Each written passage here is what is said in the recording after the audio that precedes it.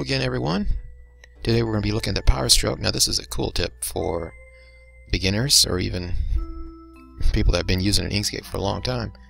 Um, you can use power stroke on the Bezier tool, the pencil tool, and the spiral tool. I'm not sure about the anything else, but let's just uh, see how it works on each one of these. We'll first create the spiral, and then we can do a pencil tool. Oop, I'm sorry. Pencil tool.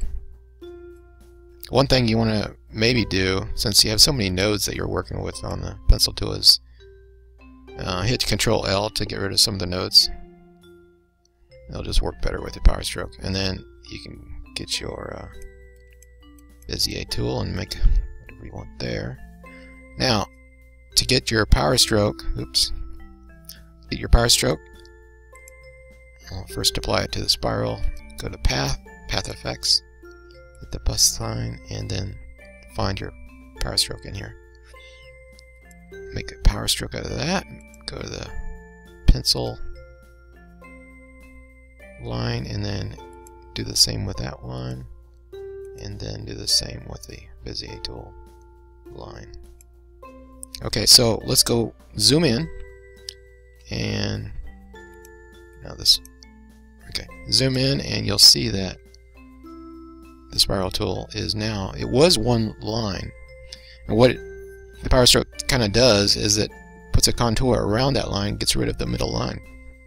If you go into your edit path tool, you'll see that it has these pink uh, anchor points or nodes or whatever and you can manipulate them make it thicker at various points it's got three of these and one thing you you might want to do when you're using this uh, power stroke is to put fill in there instead of stroke.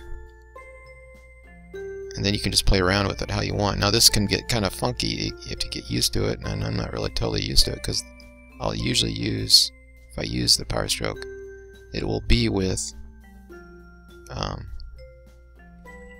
with the Bezier, Bezier tool.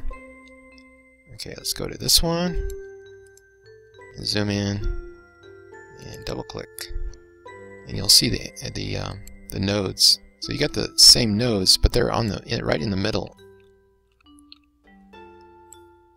Now let's change this to uh, fill get rid of the stroke. And again you'll see that you got these pink anchors or whatever you want to call them that helps you or that provide the thickness, what kind of thickness you want. The, and you can slide these around. So helps you provide whatever thickness you want. Now, one thing I haven't really talked about yet is that on the cap, to start cap, you can you can change it to various shapes. And uh, something you might often use for the caps would be zero width. And to get the actual zero width, you have to move these to make it a little more smooth. You can go to the end and do the same here. Zero width. See right now it's almost squarish. You have to pull it down.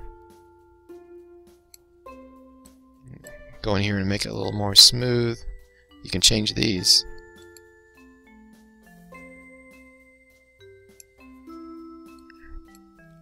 Go through here and look like that. So just play around with it and and you can do it the exact same thing to this line which was uh, the stroke line that's created with the Bezier tool. Uh, one one thing that I haven't mentioned yet, you can actually change this because this is right now more or less an object. You can change it to a path and then you'll see that it's no longer a power stroke um, more or less object. It's more of a, it's almost like you what you created, uh, an original Bezier line that went all the way around. It's more or less just like a contour. So, thanks for watching. Hope you enjoyed that. Bye-bye.